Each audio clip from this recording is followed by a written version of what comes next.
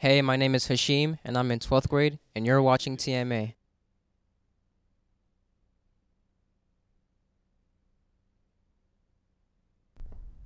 All right, you've had a day to prepare. Are you ready for your quiz on proper trick-or-treating etiquette? Wait, that's today? Yeah. All right, first question. Uh, uh, uh, time for the intro.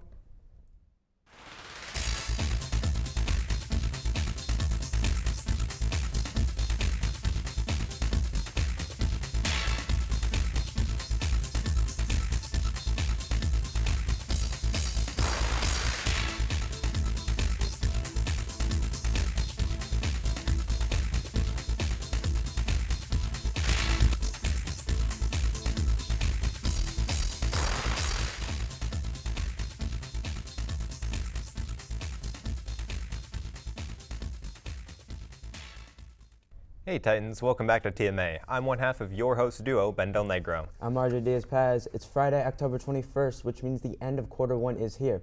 Better get on with that quiz then. I, I, I don't know, man. I mean, it's a pretty packed show today. We've got two packages, and you know, not that I'm scared of taking the quiz or anything, but I think we should, you know, spotlight our amazing Titans. You have to the end of the show. Make it count.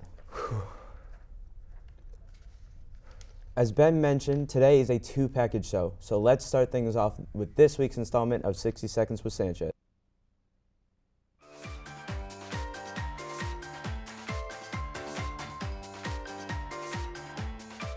Welcome back to 60 Seconds with Sanchez. I'm Jacob Sanchez, and this is the show where we take a current event and talk about it the Sanchez way. A recent protest by a climate activism group called Just Stop Oil saw members defile a painting by famous artist and dollar store Ron Weasley, Vincent van Gogh. They did this by throwing a can of tomato soup at it. While the painting's glass covering left it unaffected, people speculated how doing this would stop fossil fuel use. Their justification? Van Gogh used oil paint. That's it. While their message is super important, their method needs some work. The climate crisis needs addressing. I kind of want to be alive in 50 years. But maybe throwing soup and gluing yourself to the walls isn't the answer. Did I mention they glued themselves to the walls of the gallery? I was going to write a joke about it, but I got stuck on the punchline. I'll see myself out. Well, that's all the time we have for now. Thank you for watching 60 Seconds with Sanchez, and we'll see you next time. Thanks to Jacob Sanchez for redeeming his weekly allotted 60 seconds of screen time. Tune in next week to see what else Jacob has on his mind. Titans, today is the last day you can get a glazed donut from Miss Rodriguez for completing your FAFSA and VASA forms. Stop on by A117 and show Miss Rodriguez a completed form to get your reward. Let's see, let's see what's going on today in college visits. First, Seton Hall University visit at 8 a.m.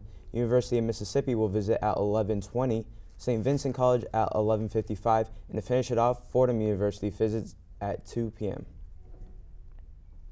We're sending out birthday wishes to advanced TV media production students Lucy Savarie, who will turn 16 on the 24th, and Aiden Hill, who turns 17, also on the 24th. A reminder, Titans, we have a four-day weekend, which unfortunately means that TMA will not have a show on Monday or Tuesday. We'll see you again next Wednesday. I hope you all remembered the special task I asked of you. Titans, it is time to name my good old Skelepal over there, and we need your help. Anyone can submit a name to the Google form link in the description. It can be as serious or comedic as you want, but don't procrastinate. The contest will run until October 28th, with the name being chosen and revealed on October 31st for our TMA Halloween special. The quest for the best name begins. Every year, the ACHS varsity volleyball team joins the entire country in its fight against breast cancer. On October 11th, the team dedicated its games to the Dig Pink program. At the same time, the team honored one of its own, Milan Rex, who reached the crazy career statistic of 1,000 kills. TMA segment producer Jackson Rider and Griffin Magnus were at the scene. Hey Titans, it's October and you know what that means. Breast Cancer Awareness Month.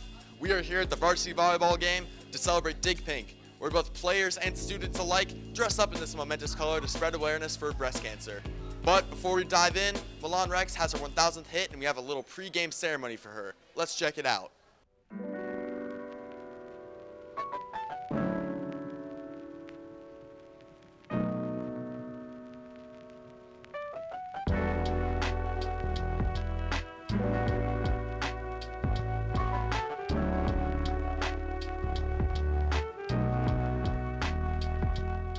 Uh, very special. She works really hard, and it's just great to see her play and have fun.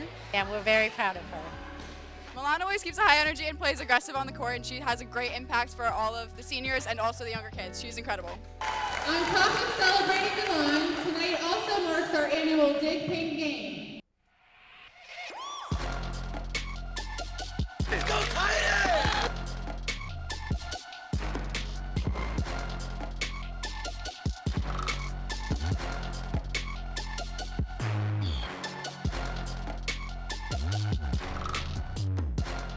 So the Side Out Foundation uh, does this as a fundraiser for uh, volleyball and breast cancer. Um, this cause is actually really special to me um, personally, just because it's really affected my life a lot. Um, so this is something that they started probably 15 years ago. So it's been very cool because I did it as a player in high school, um, a player in college, and now I'm doing it as a coach as well.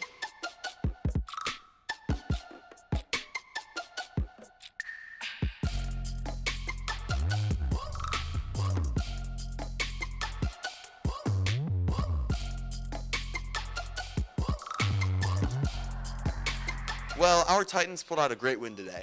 More importantly, they showed their support for breast cancer awareness. I'm Griffin Magnus, and you're watching TMA. Thank you, Jackson and Magnus, for producing that package. Make sure to subscribe to TMA so you don't miss our next show, which will feature a live interview with Milan. Wow, what a fun show. Two packages to end off the week right. I guess that's it, so see you all next time, Titans. Bye. Nice try, but you're not getting out of this quiz. Oh, man. Can, can I at least use a calculator on the quiz?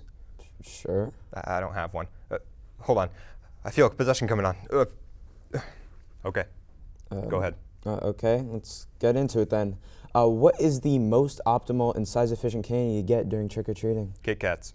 Correct. Next question then. What is the most desirable number of people to group up with when trick or treating? More than one, but less than five. Most optimal is usually three, but largely depends on dew point average and total humidity of that morning. Correct. Very impressive. Next question. What is the proper angle of approach when ringing a doorbell? 94 degrees if the door is gray or red, but 74 degrees if it's any other color. Correct again. Final question. What would you do if you see a group of enemy kids at a house? Push them aside. Competition is stiff in today's trick or treat economy, and you can't let sympathy and common human decency get in the way of profits. Wow, correct. I was not expecting that, and honestly, it's a little bit concerning, but good job. Who knew this whole possession thing could have its perks, right? See you all next time, Titans.